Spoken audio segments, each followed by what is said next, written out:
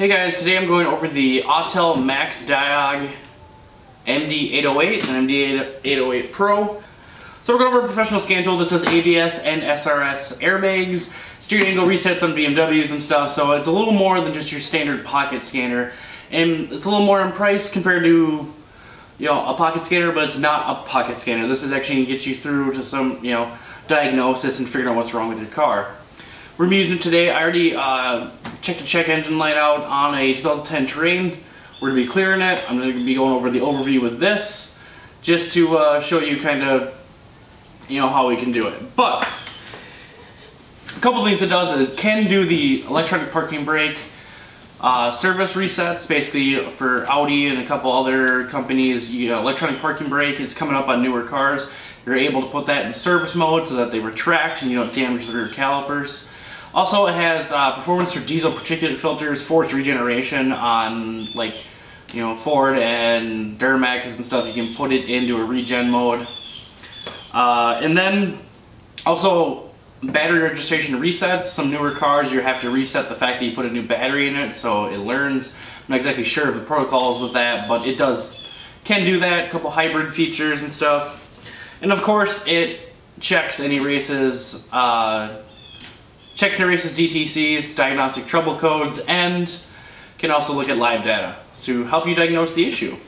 So we're gonna open it up right now. Comes in a nice hard case.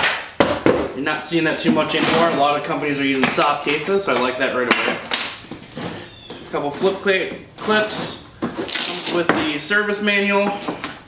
Basically the instruction manual and standard hooking to it. So we got this one.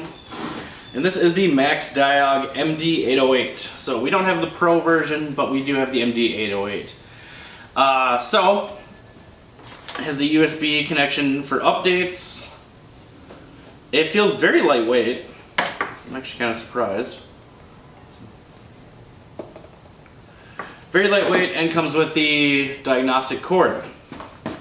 So, what can we do besides hook up to a vehicle and see what we got going on with it? Cable certainly just is a quick easy connect as these always are just computers serial cables. They screw in so it can't just come unplugged. Has a nice little screen protector on it. I like to keep those on. That way if you ever do scrape it up, you can just peel it off. So let's go hook it to the car, see what we got going on. Okay, and for the scan tool, you're just going to find your di diagnostic port, which is usually under the driver's side dash. Somewhere near the left or right. On this one vehicle, it's right here. And you can see the scan tool is powering up.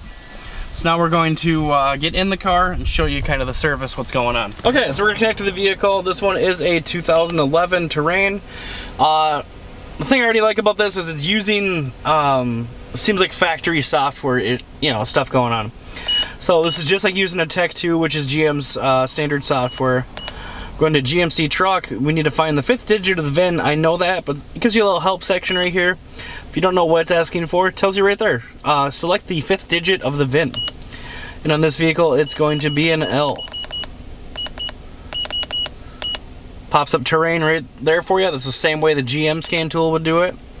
Ask which engine, 2.4 4 cylinder, 3 liter V6. We have the V6. Control unit, Gives me access to the ECM, the TCM, transmission control module. Supplement restraint, which is airbags and electronic brake controller. So we're going to engine control module. We have a check engine light. We want to see what's going on with it. Click easy, okay. We're looking for the DTC, diagnostic trouble code. Please wait, it takes a couple seconds establishing communications. It's pretty straightforward. Um, so we have the P0496 code, gives me the description, EGR system flow during non-purge, um, and that's what we're actually fixing on this vehicle today. So I know, right away, I know that's there. tells me It's a current DTC, you can clear it, save it.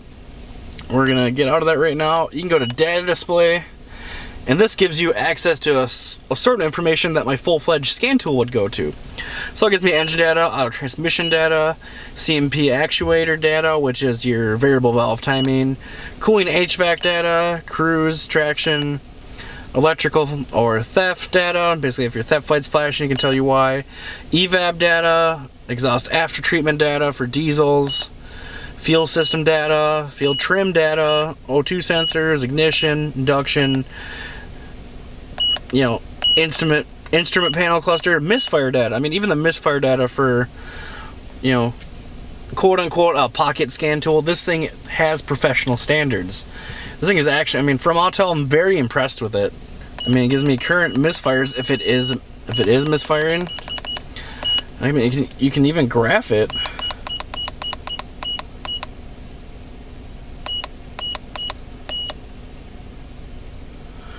Like misfire cylinder 3, I can watch you know, watch the graph. It's going across the board zero right now, so I can actually, as you're driving, you know, drive it around if it is misfiring on that cylinder, it will graph stuff. So you're not just watching a number go up and down. You can actually see if there is a fluctuation. So, I mean, when you're given, I mean, ignition data, I mean, you can see the uh, crankshaft position sensor. We're going to graph it. I can watch the crank sensor go along, you know, when you're moving, where it's going up. It's just pretty impressive right there. Seems like a very fast, uh, you know, it's not a slow processor. I say it's a little slower, but um, than a, my full-fledged scan tool. But this thing is giving me pretty much all the data that my scan tool would give me um, without being bi-directional control, meaning I can, you know, command things on with the scan tool if you want, you know, basically. So pretty much as a scan tool diagnostic module, this thing is great. It gives me a bunch of information to look at. It's fast enough to where it's actually usable. I mean, you can look up look up airbag stuff. It's a lot of times you get an airbag light comes on. Sometimes just from a battery dying or something, but you know, no trouble codes. Obviously, we got none in this. I'm pretty impressed. You know, especially with GM electronic brake control modules, I do a lot of ABS work with the bearings and stuff and sensors. So to be able to pinpoint, you know, an ABS code quickly, you know, this one's gonna have no codes. But to be able to do that quickly with this, you know, and be able to, you know, data display it, where it can actually watch uh, individual speed sensors. You know, I get left front wheel speed, rear wheel speed. You can just see, you know, what's happening. Does the module have 12 volts to it? Does you know, is the pump going off? Has you know the traction control system failed? Is the switch state on? Is it active? Is the ABS failed? ABS is active. So if you hit the brakes and it's going off, you know, does the car actually know it's ABSing? You know, it's it's pretty impressive. I actually, I mean, this is way more than I expected out of an Autel, you know, diag scan tool. I really didn't expect as much as this Autel can do. So pretty much I just want to say for this, definitely worth the money. I've used a couple other scan tools I carry with me just to quick check check engine lights and stuff on the road and do that stuff. And it's like, you know, it's nice to have those. Just, you know, I can see if it's a serious issue or not. But to be on the road in my tool bag, like it takes a little bit for me to switch out what I have. And this thing actually, you know, like I said, gives me as much information as my $2,000 scan tool does um, without being bidirectional control. So as a scan tool, this is 100% for me. This is what I'm looking for. And at the price point of $250 for the MD808, that's not outrageous. If you buy this thing off a tool truck, you know, or something similar, this would probably cost you five, six hundred dollars, and if not more, because you're paying the markup on it. And but to have something that truly actually works, that is fantastic. I really like the fact that this is can do what it does. I spent a long time around the high-end side of scan tools, you know, Matco, Snap-on, just all those guys. I know those things are usually made by other people, but Snap-on's Verus, you know, is made by Snap-on. It's pretty fantastic. And that's why I was actually very impressed to see that this gives me almost the same information that one of those does, a little slower, but it's still pretty fast for being this size. For most of these in its class, they usually run really slow. This is adequate to me. I have other scan tools that take longer to load than this.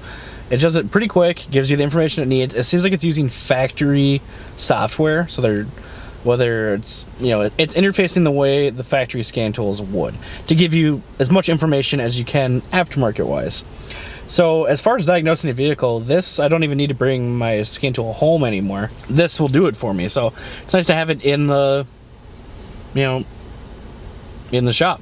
Can't you do throttle control or anything with it, but it can give me the information that I need out of it, and that's all that's really matters. So, as far as uh, the Autel MD8 MD808 goes, I am highly impressed, and I do, you know, honestly recommend this one. The only fallbacks I have on it is I know it's a you know this size scan tool, but the screen seems a little long, so when you're graphing something, it doesn't go, you know, it doesn't give you a wide spectrum to really view it. But that's all right. You know, I'm not as long as you can graph it and actually do something with it. That's that's the point of what it's trying to do. So my fallbacks are, I mean, I like I like the grip of the case. It's got, you know, in case you drop it, has a nice screen protector on it. The cable seems nice and sturdy. The cable's a little short, and I know they meant to have these compact, but I do like a longer cable. That way, if I want to put it onto the, you know, under the hood as I'm working on it, so to view view something as the car is running, I like that as I'm looking for a vacuum leak or something. But you know, you can probably get one of the a longer cable aftermarket wise. So basically, my drawbacks on it are screen size and cable wise. Other than that, I think this thing is performing fantastically. So definitely recommend it. I'll have a link in the description to Amazon. This thing can graph, give you factory information, reset service lights on European cars, and do parking brake controls, force diesels into regen, uh, if that's something you know you're trying to do, but for service, it's just it's pretty capable. You look at live misfire data. It's everything really. I mean, this will. If you're a technician and you know anything about scan tools, you know exactly what I'm talking about. So to have this kind of level for this price, very worth it. So I hope you guys liked the video. I hope it helped you make a decision on the MD808 if you like it or not. I feel this is a very, very good scan tool for the money. So I do recommend getting it if you're looking at it. Hope this video helped you guys. Thanks for watching, and please subscribe for a lot more videos like this one.